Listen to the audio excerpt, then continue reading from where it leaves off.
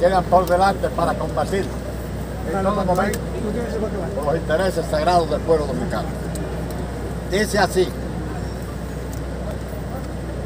compañeras y compañeros, hacen ahora 59 años que se produjo el brutal derrocamiento del gobierno democrático del PRD que presidiera el profesor Juan Bosch, al tiempo de que fue derogada la constitución más avanzada de toda América Latina y el Caribe.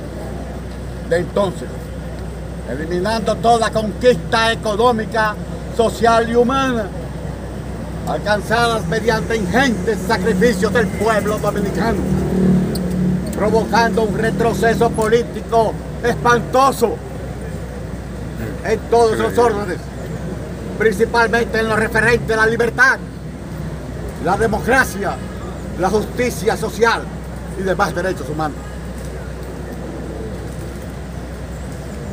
Enfrentar a los golpistas responsables de esa tragedia era una responsabilidad obligada de patriotas revolucionarios y demócratas conscientes.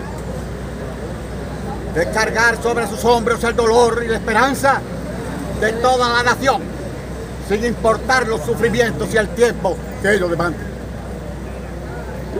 Cumpliendo con esa misión histórica, el doctor José Francisco Peña Gómez se dedicó a fondo, desafiando toda clase de peligros, a organizar el levantamiento popular y civil, militar, dirigido a desafiar, dirigido a derrocar a los golpistas y rescatar la dignidad y la constitucionalidad arrebatadas, llamando a todos los dominicanos a hundirse en tan sagrada contienda. A ese llamado respondieron de inmediato militares y civiles honestos que esperaban el momento de lanzarse al combate, dirigido por los coroneles inmortales Francisco Alberto Camaño de Yo y Rafael Fernández Domínguez. En lo que atañe al sector castrense.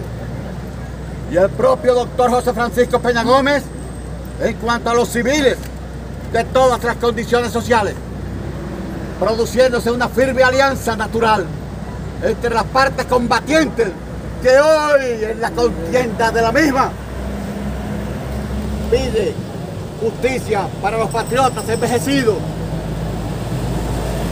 que padecen miseria y olvido, víctimas de promesas anteriores no cumplidas, tal y como lo resalta José Francisco Peñagón.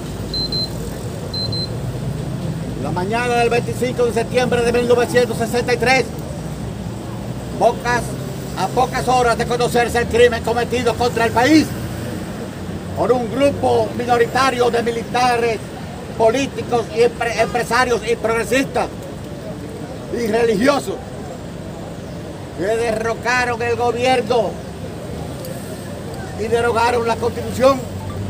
El compañero José Francisco Peña Gómez, en su calidad de secretario general del partido derrocado, orientando al pueblo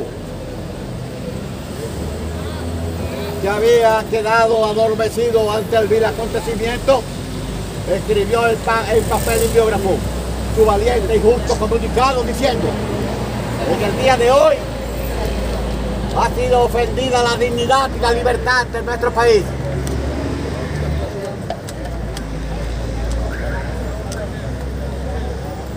Son traidores a la patria los que participaron en el golpe militar y merecen el justo castigo del pueblo dominicano. Luego, antes de cumplirse un mes de doloroso acontecimiento, el Comité Ejecutivo Nacional del PRD ratificó la posición del doctor del PRD entonces. Ratificó la posición del doctor José Francisco Peña Gómez, publicando un comunicado contra el golpe que en uno de sus párrafos decía. Después del golpe de Estado cívico-militar que derrocó el gobierno constitucional, perpetrado el 25 de septiembre por generales y coroneles traidores a su misión de salvaguardar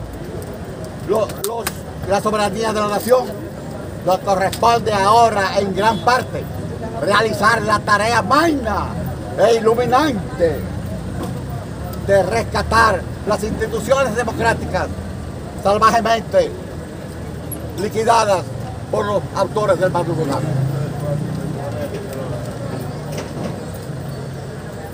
De igual modo, cuando se supo que los golpistas buscaban llegar a acuerdos violadores de la dignidad y el decoro. Y los principios democráticos de la nación, con algunos altos dirigentes vacilantes del partido, el secretario general del PRD dijo tajantemente, en lo que a nosotros concierne, declaramos categóricamente que no participaremos con golpistas, que no pactaremos con golpistas y que los que tal hagan serán expulsados de nuestra organización como traidores. Entonces, obedeciendo al llamado patriótico del secretario general del Partido Blanco, los constitucionalistas, militares y civiles, con Francisco Alberto Camaño de Ño, Rafael Fernández Domínguez y otros, y otros patriotas, lanzaron al combate, logrando que sobre el sacrificio y el martirio de los combatientes se fueran restableciendo los principios constitucionales antes de derribar. Compañeros Peña Gómez tenía la esperanza de que al ser derrocados los golpistas, usurpadores del poder, mejoraría la calidad de la vida de los dominicanos, en especial de quienes, oyendo su llamado, perdieron sus empleos, sus escasos bienes y la tranquilidad hogareña, que debían ser los primeros en beneficiarse. Sin embargo, no fue así. Se queja el doctor Peña Gómez de que terminada la revolución, el gobierno provisional de Héctor García Godoy, comenzó el vía crucis de los militares constitucionalistas. Las promesas hechas no fueron cumplidas. Los acuerdos fueron desconocidos.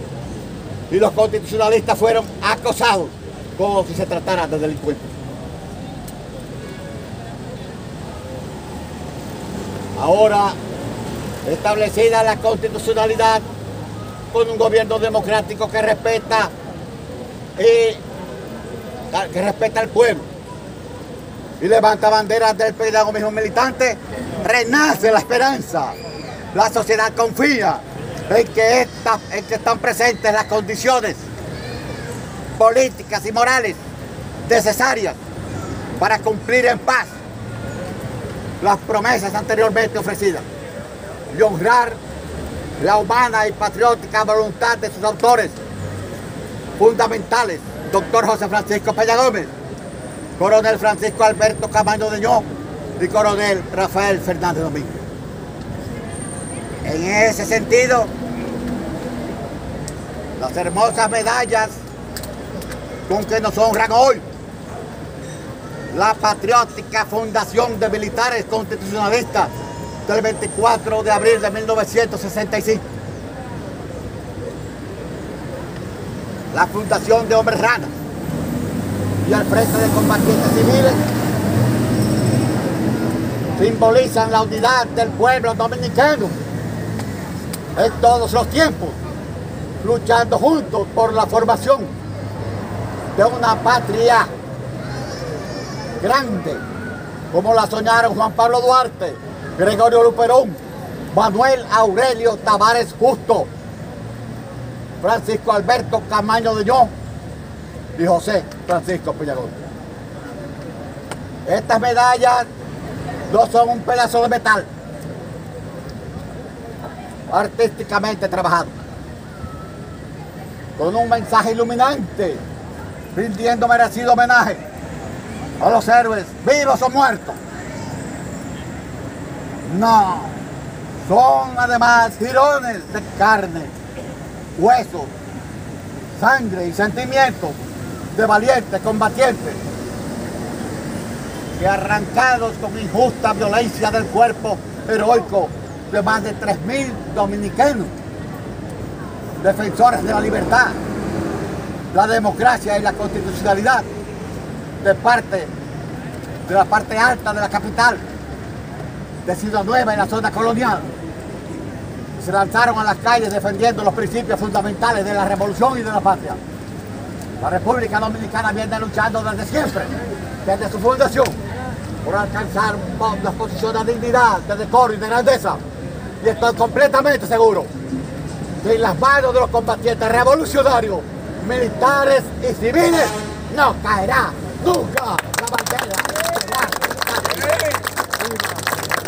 Que vivan entonces los grandes hombres, muertos y vivos.